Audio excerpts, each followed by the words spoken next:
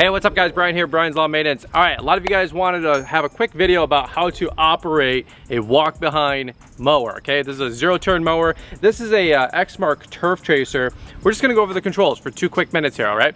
Uh, one thing I wanted to talk about really quick before we're done is if you guys are looking to learn how to operate a stander or a zero turn, I'll leave a little card here and a little video at the end screen by the time this video is done. All right, well, if you guys are new here, my channel is all about helping you guys grow a more successful lawn and landscaping business so you guys can go out there and crush it. So if you guys are new here, maybe consider subscribing. But we do that with reviews, how-tos, daily vlogs, and sometimes we do little how-to videos like this. So I got my man Rob behind the camera really quick. So here's what we're gonna do. Let's just talk about the controls. And then before we're done, I want to give you guys the biggest uh, tip or secret with operating a walk behind mower that you should never do because it is a huge safety no-no.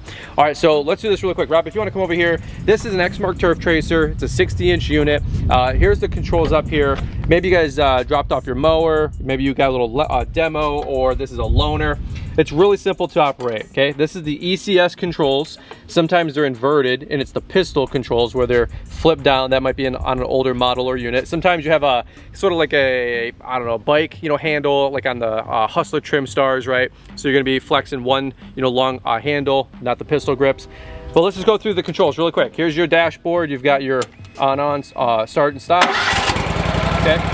Ignition you've got your yellow button typically is your PTO and I know this might sound basic for some of you guys but some of you guys might be brand new or never ran one of these before. This right here typically you're going to have your hydrostatic or your gear drive. Now a hydro means you just punch this lever forward and it's going to open up this uh, hydro uh, grip right here. So Rob can you come over here? See how we've got this fully expanded? If I shift this down you're going to see that it's not going to want to expand as much okay? So that is the default once I release the parking brake. All right, and then as you guys would imagine, you've got your throttle, and then we've got our hour meter, okay? So when you're approaching a walk behind unit, uh, the last thing you're gonna wanna worry about is where's your parking brake, okay?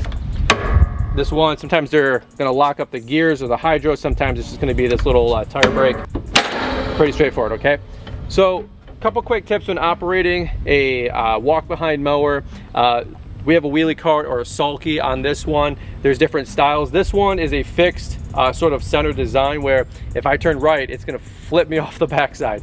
Some of them articulate where you can kind of uh, jackknife, you know, as you make that turn. Uh, the Jungle Jim's accessories, so far, uh, so on and so forth, okay? So here's, let's just do this really quick. We're gonna jump on. We're gonna get a little bit of throttle. Come on in, Rob. And then we're gonna remove our safety, which is right here, okay? Now the mower's not going. And if I step off or if I let go, it's in the neutral position. It's not gonna go anywhere. Now if this hydro gear is forward, it's gonna cut the mower because this is our safety. Okay? It's gonna stop the mower, right? So let's bring it back to neutral. Sorry about that. We're gonna put the into gear. Come over here, Rob. Come over here.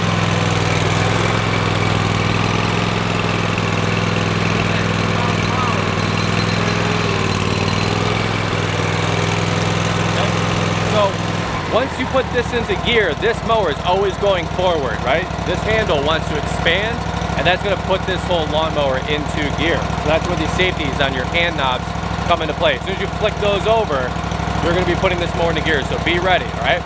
And you wanna ease that open on the handle. So Rob, come on down, I'll show you really quick.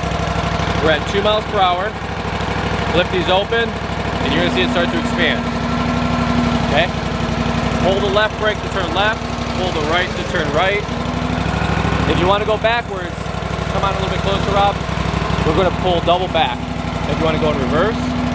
And the big one, is the learning lesson, if you want to do a zero turn, you're going to let one go forward and squeeze the opposite all the way in. Not to neutral, but to reverse. I'll show you that really quick.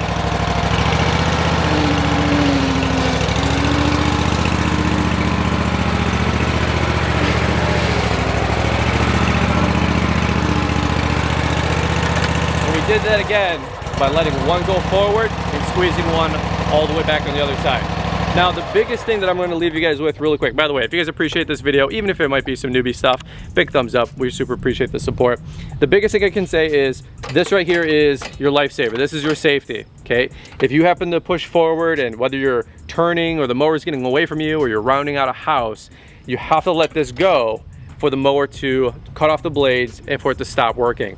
Now here's the deal, do not or never electrical tape this on here. You might see some guys that have some older units and older models, they electrical tape this closed. And so what happens if the mower's in gear or they get flung off it or it gets away from them or they're coming down off the trailer? It's not gonna stop, okay? So never zip tie these, never put electrical tape on those. It's a big no-no for safety. I've seen hundreds of folks do it please do not do it. We wanna make sure that you guys are safe. All right, just to recap, we've got our uh, ignition, we've got our PTO, we've got our gear drive. By the way, if it's a gear drive, not a hydro drive, you might have to knock it with your knee. That's like the old school ones. Hopefully you never have to do that.